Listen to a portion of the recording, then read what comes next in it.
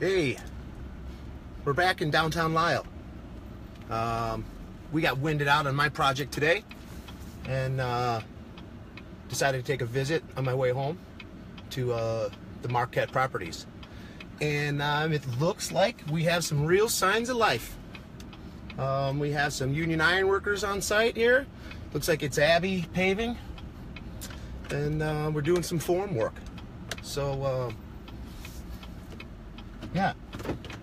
At least we got some action. Let's see what's going on here real quick. Park to the side. All right. I believe this is Kinsey Builders now that got the contract, if I'm not mistaken. Um, there's a lot of bad rumors that are going around about the, the potential of this job, but uh, right now it looks good. We got some good hard-working American workers here trying to put things together. You guys are on Facebook Live, just so you know. yeah, we'll pay you. It'll be in your next check. Thanks, gentlemen, for all the hard work. Looks good. Let's see what the future looks like here shortly.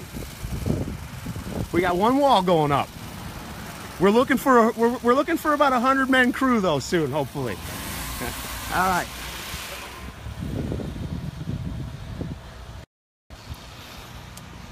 So that's our downtown Lisle construction project. Looks like we got about, I don't know, four or five guys, four or five guys hard at it on like a 90 degree day out here. Uh, so I appreciate them being here, especially with all the confusion that's going on about this job. It's got to be hard as a contractor to want to sign up for something that has been so delayed for so long. You know, questionable uh, how you're going to get paid, I imagine. So, props to the contractors that are willing to step in and help out uh, this project. So hopefully it um, continues to go well.